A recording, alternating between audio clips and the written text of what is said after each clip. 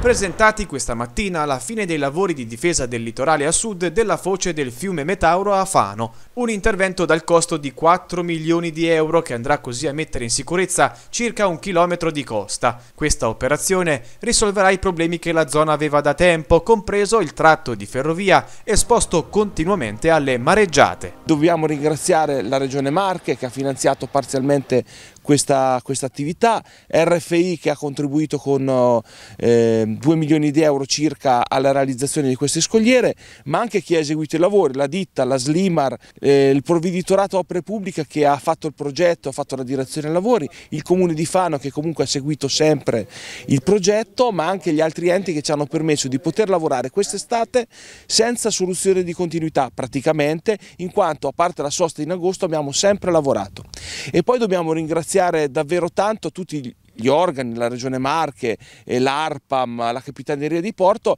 che hanno consentito che questo sforzo potesse essere effettuato nei tempi che abbiamo stabilito. E siamo molto contenti anche perché rispetto anche a alcune polemiche che sono arrivate attraverso il vostro canale di un residente, possiamo dire oggi che tutto quello che veniva annunciato non si è verificato, anzi possiamo dire oggi che già in questo momento e già soli alcuni mesi dalla realizzazione delle scogliere, già la spiaggia di Metauriglia si è ricostituita con la sabbia. Alla presenza dei protagonisti che hanno collaborato alla realizzazione di questo tratto, a prendere poi la parola è stato il sindaco Seri che ha sottolineato la soddisfazione e l'importanza di questi lavori che porteranno alla città due benefici. Il primo, la sicurezza dall'erosione della costa, mentre il secondo, un'occasione di sviluppo turistico per Fano. Un primo intervento dunque di un progetto più ampio, infatti il secondo lotto di scogliere andrà a congiungersi fino a Torrette. Qui eh, nella zona dalla foce del fiume Metauro verso sud le scogliere erano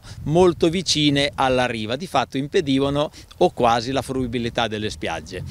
Di conseguenza è stato fatto ormai da diversi anni un progetto complessivo di spostamento, appunto si chiama salpamento, di queste scogliere a riva ed allontanarle e metterle in linea con quelle di Torrette.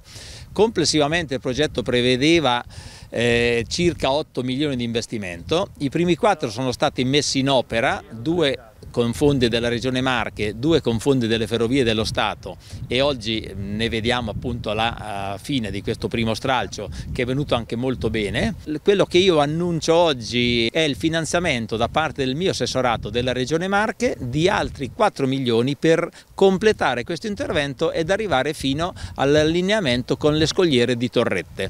Questo primo stralcio ha messo in sicurezza a parte la foce del Metauro, qui il camping dove siamo posizionati e la ferrovia, però non ha messo in sicurezza eh, le concessioni balneari, ci sono tre o quattro concessioni balneari immediatamente a sud che sono rimaste diciamo così come erano organizzate prima, con le scogliere vicino alla ferrovia, quindi una spiaggia poco funzionale. Questo stralcio che invece andremo di nuovo a finanziare per altri 4 milioni consentirà anche a queste zone che hanno delle concessioni balneari di poter eh, fruire di nuove scogliere e di queste spiagge indubbiamente più funzionali in prospettiva.